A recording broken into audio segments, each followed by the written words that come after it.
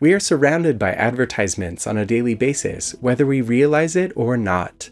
From the moment we wake up and check our phones, advertisements are everywhere. They are designed to catch our attention and send a message. It's tempting to just unplug and take a walk through nature, but nature is also full of advertising. When threatened, skunks will raise their tails and spray a foul smelling liquid at their attacker, which can fly up to 6 meters. The chemicals in the spray can cause irritation to the eyes, nose, and throat, so these warning stripes let everyone know to stay away. Flowers' bright colors and sweet scents are meant to attract pollinators, such as bees and butterflies, and persuade them to visit and collect nectar. Bees have two large compound eyes that are great at seeing. They also have long, thin antennae on the top of their head used to detect smells. Flowers that have a strong, sweet fragrance indicate that the flower has nectar that the bee can use as food.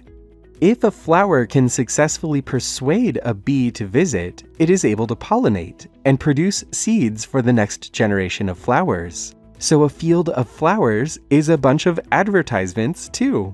Both songbirds and carnival barkers use vocalizations to attract attention and entice others to come closer. When songbirds sing, they're using their vocalizations to advertise their presence and attract potential mates. The songs of male birds are often louder and more elaborate than those of females, and they are often used to establish and defend a territory. So birdsong can be an invitation. Come here, there's a really great bird to check out. And birdsong can be a rejection. Get out of here, any other male birds. This might be a surprise to some of you, but advertising is often not true. And plants and animals have also found ways to falsely advertise. In hoverflies, their black and yellow stripes mimic the coloration of bees and wasps, which are known to be able to sting and defend themselves.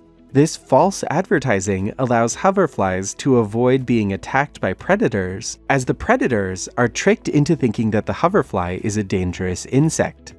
Pitcher plants often have brightly colored markings on their pitchers that are visible to insects, which are drawn closer by the sweet smells emanating from the plant. Once the insect lands on the pitcher, it may slip and fall into the plant's digestive fluids, where it is digested and absorbed by the plant. This false advertising has fatal consequences. So while nature seems like the perfect escape from the bombardment of advertising, nature is just as full of persuasive messages as Times Square.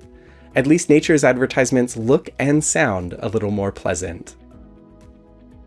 And now, a small advertisement. You can support this channel on Patreon or by clicking the join button on YouTube. If you don't have the money right now, subscribing is free and keeps increasing your knowledge. Thanks for stopping by to learn what makes life awesome.